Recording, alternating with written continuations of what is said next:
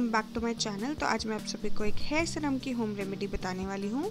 ये hair serum 100% percent natural ingredient से बना है और इस हेयर सीरम से आपके फ्रिजी और डैमेज्ड हेयर की प्रॉब्लम सॉल्व हो जाएगी और ये आपके बालों को शाइनी, सॉफ्ट और लस्ट्रस बनाएगा।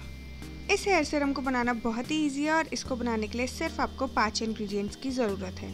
तो सबसे पहला इंग्रेडिएंट जो हमें चाहिए वो है ग्लेस्ट्रीन दूसरा इंग्रेडिएंट है एलोवेरा जेल थर्ड इंग्रेडिएंट है रोज़ वाटर या गुलाब जल फिर हमें चाहिए नारियल का तेल। अगर आपके पास नारियल का तेल नहीं है तो आप ऑलिव ऑयल भी यूज़ कर सकते हैं। और लास्टली हमें चाहिए वाइटामिन ई कैप्सूल्स तो इस हेयर सीरम को बनाने के लिए सबसे पहले आप एक कटोरी में दो चम्मच गुलाब जल ले लीजिए।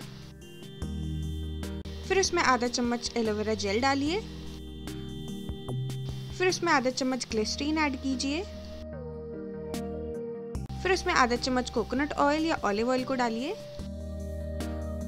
और लास्ट में इस मिक्सचर में दो वाइटामिन ई कैप्सूल्स का ऑयल निकाल के ऐड कीजिए।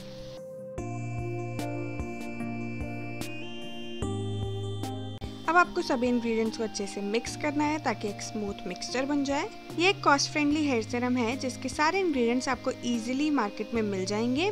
और ये सारे इंग्रेडिएंट्स आपके बालों के लिए बहुत ज़्यादा बेनिफिशियल हैं और आपके सारे हेयर प्रॉब्लम्स को सॉल्व करते हैं। ये हेयर सीरम आपके बालों को फ्रिज फ्री तो बनाता ही है, उसके साथ साथ ये आपके बालों को शाइनी लॉन्ग और लस्टर्स भी बनाता है। तो सभी इंग्रेडिएंट्स को अच्छे से मिक्स करने के बाद आपका हेयर सीरम रेडी है और ये कुछ इस तरह दिखेगा। अब मैं इस हेयर सीरम को इस छोटे कंटेनर में ट्रांसफ़र कर रही हूँ और आप कोई भी एयरटाइट कंटेनर यूज़ कर सकते हैं इस हेयर सीरम को स्टोर करने के लिए। और इस हेयर सीरम की शेल्फ लाइफ 15 से 20 दिन है। और अब आपका हेयर सीरम रेडी हो चुका है। आप इस हेयर सीरम को गीले या सूखे बालों पे अप्लाई कर सकते हैं। और इस हेयर सीरम को लगाने के बाद ही आपके बाल सॉफ्ट शाइनी और फ्रेश फ्री हो जाएँगे।